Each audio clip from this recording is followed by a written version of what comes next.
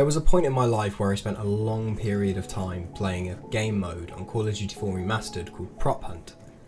So this was a couple of years ago, but I remember having such a fun time because it always added that little bit of humour to a game that realistically wasn't that funny. And you know, when everyone's just running around firing shots and trying to figure out who is in an inanimate object, it's really funny to just see someone hiding out in the middle of the map as a tree in plain sight. So in this game, Propnight, it's kind of like that, but then you go ahead and you throw in a large dash of the ever-growing Dead by Daylight gameplay and you've come out with this incredibly strange hybrid baby type thing. So Propnight hasn't actually been released yet. The game is set to release on the 30th of November and I got to play it during the pre-release beta type thing. I think it was like a public launch or a public playtest, we'll say. But it was a very enjoyable experience, and obviously, as it's still not released, what we managed to play wasn't actually the final product. So take pretty much everything I'm going to say with a pinch of salt, because as much as I enjoy it, it could release and then it could not have as much content as I would personally hope for, or it could release and just be more broken than the public playtest actually was. In this video we'll be drawing up the differences and also the similarities between Propnight and games like Dead by Daylight mainly focusing on Dead by Daylight as the case study. So this game consists of 5 survivors and 3 different killers at the moment. Hopefully when the game releases there will be a few more added, but at the moment it's similar with the killers as it is in Dead by Daylight. Each killer has its own set of abilities. A good example of this is the killer called the Imposter, so this is personally one of my favourites. He has the same power as the survivors. He can turn into different props, as well as being able to turn into the survivors and mimic them. This is an amazing thing to happen because unless you know where all your teammates are, it can end up being really, really messy. So the way that they handle the deaths in this game is very similar to Dead by Daylight. In Dead by Daylight, you get hit down, then you get carried over to a hook, and you get three lives essentially, and then you, you you're dead.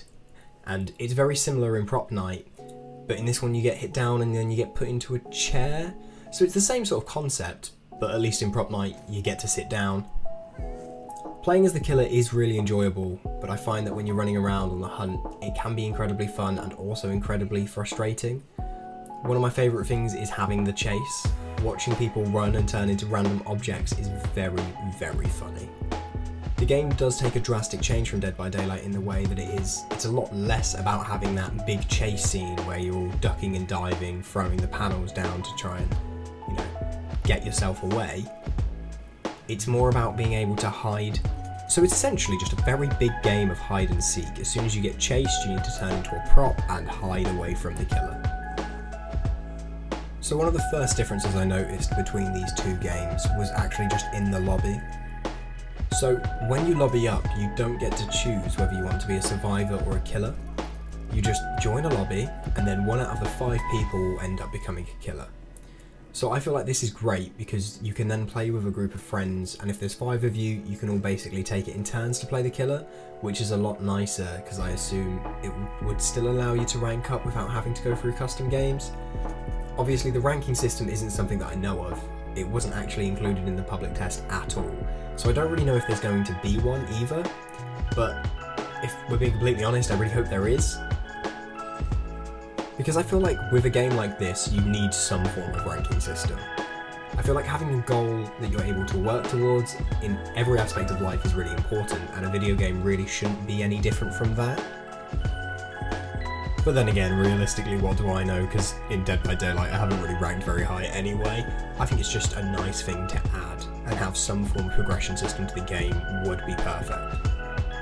So then we move on to the survivor part of the game. Now, this is where the game was incredibly fun for me, and it was a lot more unique in comparison to the killer aspect, because the killer aspect of this game is very similar to that of Dead by Daylight. But during the public test, we only really had access to two maps, one of them was an old American style farm with a massive cornfield in the middle, it was surrounded by lots of barns, and then the second one was just a huge haunted mansion. Personally, my favourite map was the farm. Like, the house was really nice, but it seemed to be a lot more difficult to hide in there. Although there was a moment where I just kind of hid as an extension lead in the middle of the room and it was hilarious because they just kept missing me.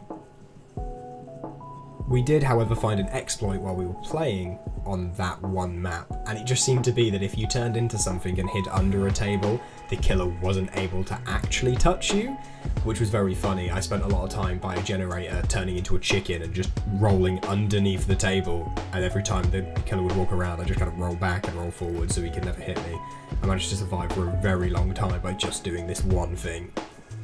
Now, there are a few parts of this game that honestly I just, I really loved, but one of the main things was the maps. So the maps were so well designed and it was beautiful to just go around and have a look at the map. The aesthetic of the game is genuinely incredible, and each of the maps are very small in comparison to Dead by Daylight, but I think that kind of made the game a lot fairer. So the main difference between the two games is obviously in Dead by Daylight, if you're a survivor, you have to do a lot of looping, a lot of running the killer around, smacking them with pallets, but then obviously this game is a lot more centered around the becoming a prop and the hiding. Some of my favourite moments while we were playing in this public test were just getting chased and then turning into something ridiculous. Like, I think there was one time I turned into a little bunny teddy bear on the farm and then just hid inside of the corn. I didn't get caught and it was amazing. But as well as the differences, obviously this game does have a lot of similarities with games like Dead by Daylight. So one of the biggest ones is that you do have generators that you have to do. But the difference in it is that this game has a time limit, so the time extends whenever an action is made. This could be stuff like fixing a generator or saving another player from certain death. This adds a different edge to the game because although it's a game based around hiding, you can't just sit around and hide all game and you are forced to do objectives or you will lose by default. But it's also really good to add that when you do try and do a generator, you can't do it while hiding as a prop. You have to turn back into your human form to do it. Whenever you complete tasks, you are also given coins. So at first, these coins really did confuse me, but after a couple of games and once we just kind of got a bit more into it, it started to make a bit more sense to me. So the coins reset every game, and it seemed to me that the only thing that you can really use them for is for buying random items out of this weird chest thing. So this works in a similar way that Dead by Daylight do it, but instead of being able to take your item from one game to another, it's kind of stuck in each one. But you know, the devs giveth and the devs taketh away. Each survivor is also given an item at the start of each game. This item is however locked to each survivor. I'm unsure if they're going to change this when it comes to the release of the game or not, but some of the items you can get are stuff like a map or an energy drink. I think this is a great concept, as this is one of the things that massively differs between both of the games. So I have played quite a lot of Dead by Daylight, I wouldn't really say that I'm a pro because, in all honesty, at least 70% of the time was either sat on the hook or crying in the menus waiting for it to join our game. But it is a game that I came to really enjoy and I do still play it now. But the thing that I found during the time I played Prop Hunt was that it was just incredibly fun to play. If you're playing with a couple of mates like I was, it was incredibly funny. Although the people that I was playing it with are also the people that I would usually play Dead by Daylight with, so obviously it's similar game, similar sort of group. Overall, I think that there are a lot of similarities between the two games. But I also feel like that's probably just because Dead by Daylight has propelled the genre into the mainstream, and I don't really think that that's a bad thing. The team over at Fntastic have done an incredible job in making Prop Hunt and, sorry, Propnight, and I think that they deserve a lot of props for it.